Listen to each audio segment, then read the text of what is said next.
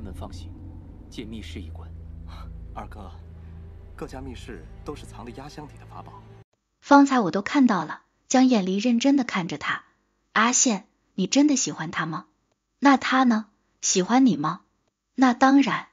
说起这个，魏无羡倒是难得的有些羞涩，道：“他是很早之前就喜欢我了，还偷亲过我，我都不知道。”然后声音越来越小，他后面又光明正大的亲了我，我挺高兴的，想来也是喜欢他的，而且他对我很好，真的很好。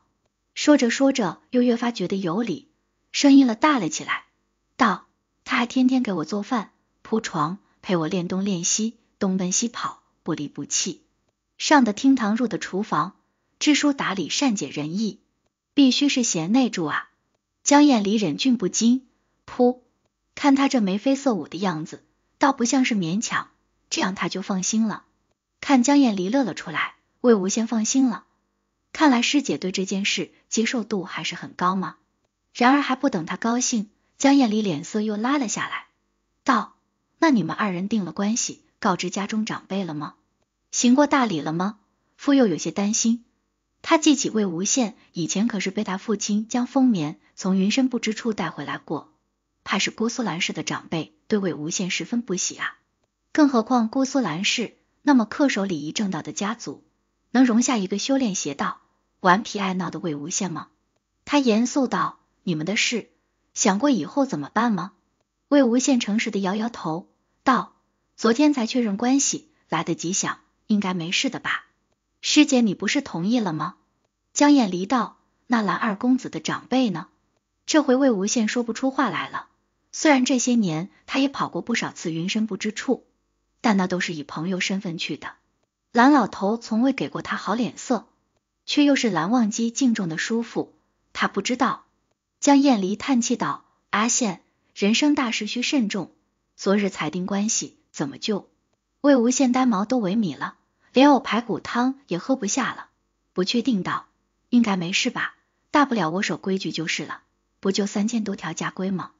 江燕离摸摸他的头，道：“我先去问问蓝二公子的意思。”师姐，魏无羡急道：“你在这好好休息。”江燕离难得的强硬，魏无羡无法拒绝，只好看着他离去，自己一个人默默待在房间里。另一边。蓝忘机在门外安静等候，待见到江燕离出来时，行了一礼，准备进去找魏无羡。然而江燕离还了一礼，拦住他道：“蓝二公子留步，阿羡毕竟是我弟弟，长姐如母，关于他的事，我想和你谈谈。”蓝忘机微微动容，停下了脚步，一边抱着金陵的江澄诧异道：“怎么了？魏无羡的事怎么就和蓝忘机有关了？”江燕离没说话。江城反应过来这里人多眼杂，便开口：“我们去后厅吧。”哪里没人？莲花坞后厅。江城诡异的看着蓝忘机，心里一万个不爽。他姐姐很少有这么严肃的时候。难道魏无羡的伤是蓝忘机打的？某种程度上，江城也算是真相了。江城这么猜测也不无道理，毕竟不是没有先例。曾经在云深不知处，蓝忘机就因为魏无羡不守家规。罚过他，可那也不会打到脖子啊！不等江城想出个所以然，江厌离细声开口了：“不知蓝二公子对阿羡可是真心？”顿时一道晴天霹雳，江城疑惑道：“真心？什么真心？阿姐，你在说什么？”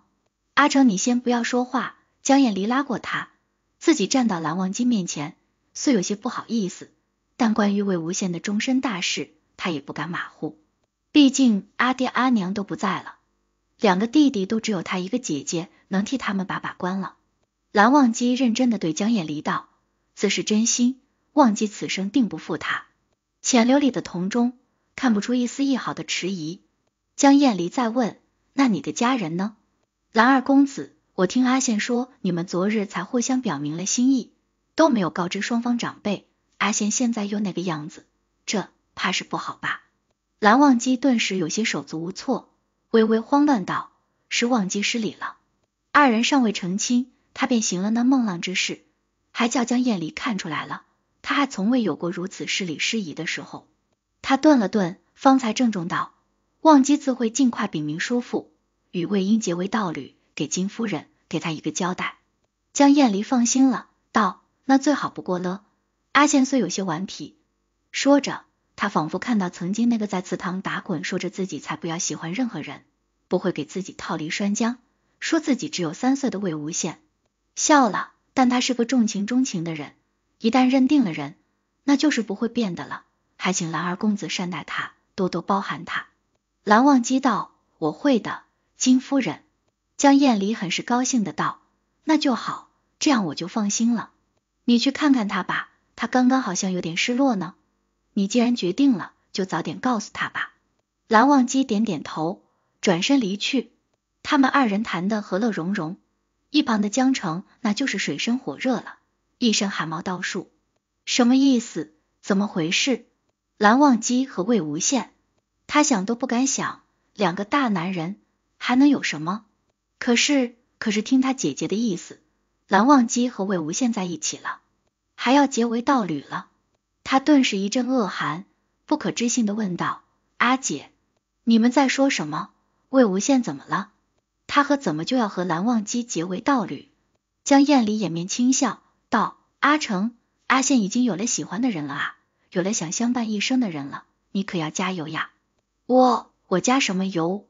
魏无羡有喜欢的人了，是蓝忘机，两个男人。江澄还是感觉难以置信，江燕离完全不觉得有什么不对，道：对呀，就是蓝二公子，他们两情相悦，有什么不好吗？江澄无话可说，一副被雷劈的失了魂的样子。江燕离从他怀里把小精灵抱回来。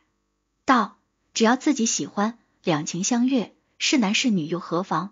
总归日子是自己过的，两个人幸福开心便好啊。江城僵硬的道：好是好，没什么不好的。显然还是没从这个巨大的信息量中走出来。一边魏无羡在挠门，他还是坐不住。师姐要和蓝忘机怎么说啊？他就像那热锅上的蚂蚁，团团转。蓝忘机又会怎么回？会把他俩的事一五一十的说出来吗？啊啊啊！他要疯了。然而不等他下定决心开门出去，蓝忘机就推门而入，回来了。